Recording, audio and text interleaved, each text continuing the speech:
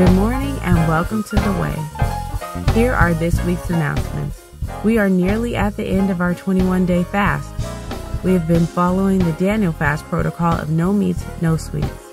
This year, during our time of fasting and prayer, we've been reading 40 Day Journey with Howard Thurman.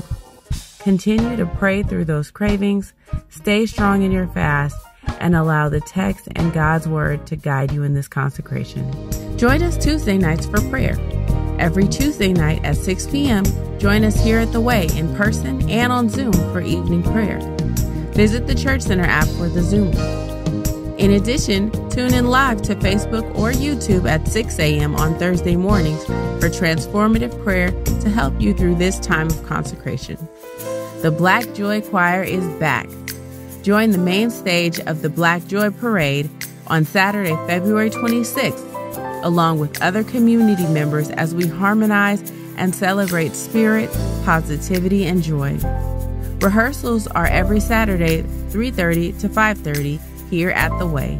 Baptism Sunday will be on January 29th. If you would like to be baptized, use the QR code on the screen to sign up. You can also register using the Church Center app or the link in our weekly newsletter. The Way is everywhere. And now you can go from online audience to our on stage audience. Sign up to be a part of this unique experience to be an on stage audience member during next week's Sunday service. Sign up today using the QR code, the Way newsletter, or the Church Center app. Stay connected with us through our newsletter and through our website, www.thewayberkeley.com. Thank you, and we look forward to engaging with you during this week's event.